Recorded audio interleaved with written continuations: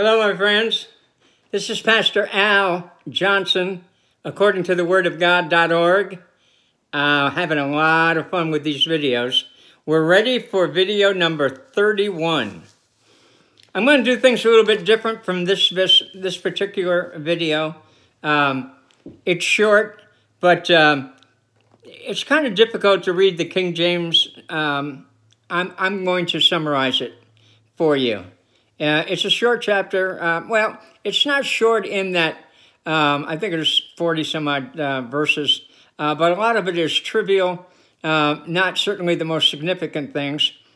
But I want to I want to start by saying God called Abraham to be the father of many nations, and we studied that. And then Abraham had a son named Isaac, and Isaac was going to perpetuate the making of Israel, the country of Israel, through his sons.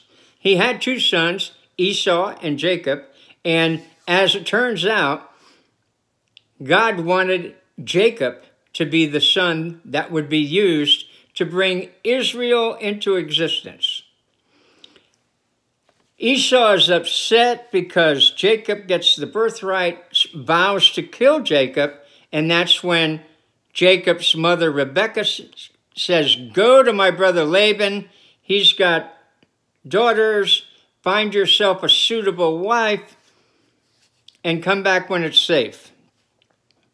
Now, we know that he went there. We know that he fell in love with Rachel, that he was going to work seven years for Rachel, and then got deceived by Laban. Laban was, he was a deceiver, a trickster, if you will, and uh, he pulled a fast one on Jacob and cloaked with a veil Leah, and he married Leah instead of Rachel.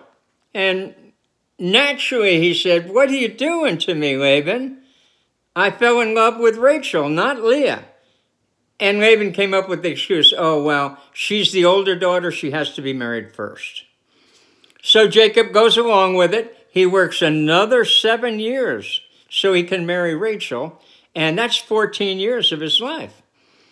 He does that. After that, he works another six years to develop the flocks, the cattle, the sheep, and the goats, and, and uh, all the different kinds of cattle, um, a total of 20 years. Laban tries to cheat him many times, changes his wages 10 times during that 20 year period. And he's fed up with it. He says to his wives, Get everything together, we're going.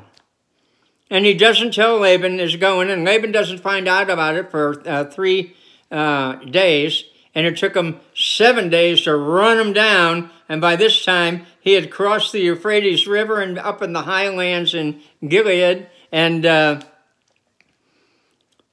Laban's not happy with Jacob, and Jacob's not happy with Laban. Somebody stole the household gods. Jacob didn't know it was Rachel.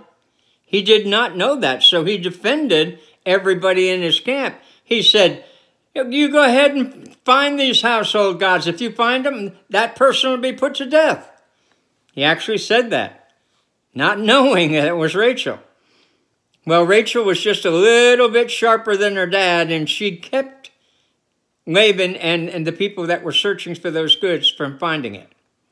Now, that to me is a minor point, but I guess it could be major if it had turned out the other way. Um, but in the end, God intervenes. He told Laban in a dream, do not do any harm to Jacob. He knew Jacob was going to be the father of Israel. He was going to have 12 sons, the 12 tribes of Israel. And that was his country. That was God's beloved country that he wanted to come into existence. So he wasn't going to have some non believer, Laban in this case, believed in lesser gods,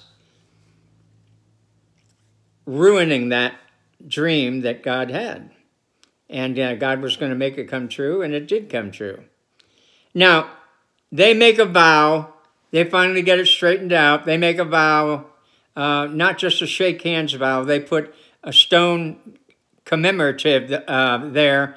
Uh, I'm not going to bother you anymore. You don't bother me anymore. That's what Laban and Jacob said to each other. And basically, that's the way it was. Those are the highlights of chapter 31. Those are the main things. Now, it does say in Genesis 31, 1 through 18, how displeased um, um, Jacob was and why he was upset with Laban. And you can read the particular details there. It does say in Genesis 3 or 31, 19, 20, and 21 that Rachel was the one that stole uh, her father's uh, um, idols, images, if you will. Um, she was cut out of the will and she didn't like it. That was her answer to it. In Genesis 31 22 to 33, Laban goes after him with a lot of people, a lot, his sons and a lot of other people. He's, he's really upset. God speaks to him and says, Don't you hurt Jacob. No. Well, he hunts for the goods uh, that were stolen and, and he couldn't find it. And uh, then in the, the uh, Jacob uh, um, gives a complaint in 31, 36 to 42, a pretty hot complaint about, you cheated me. You cheated me, Laban. You changed my wages 10 times in 20 years that I worked hard for you. And you're upset? I'm upset. Then they decided to make a covenant and get it right, and they, they uh, did that at uh, Gilead. Either way, whether you go by the actual scriptures, and you've got to read in between the lines in some of these things. You've got to you've got to read it, study it, read it again, study it a little bit.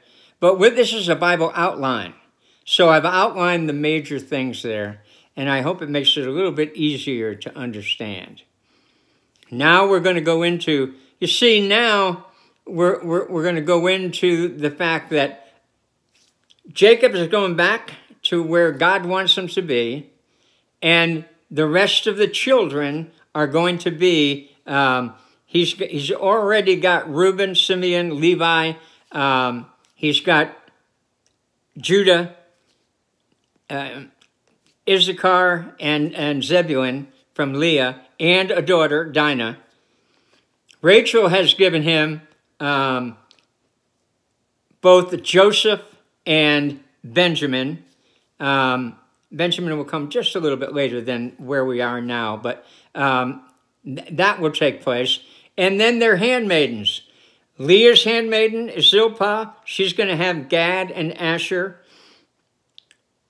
Rachel's handmaiden is Bilhah, and she's going to have Dan and Naphtali. And that makes 12. And uh, that's important for us to know because the 12 tribes of Ishmael, the son of Abraham and Hagar, they are going to fight with Israel for years and years and decades and decades and millenniums. They're still fighting today. So Jacob's 12 tribes that we're studying now, this is how they came to be. So it's important to know. Okay, let us pray together. Father God, we thank you for this time together. We thank you for chapter 31. And I did it in summary form, Lord, because sometimes it's, it, it goes in many different directions.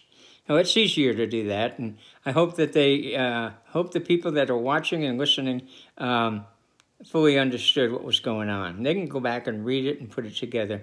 With your help from the sweet Holy Spirit, um, they'll get they'll get a great deal out of reading this chapter. Thank you, Lord.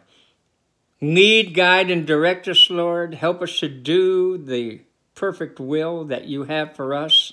Help us to be your chosen people. Let us be in the right place at the right time for the right people, Lord, and let us tell the story of Jesus. For it's in his name we pray. Amen. God bless you all. I'll see you tomorrow, God willing. Bye bye.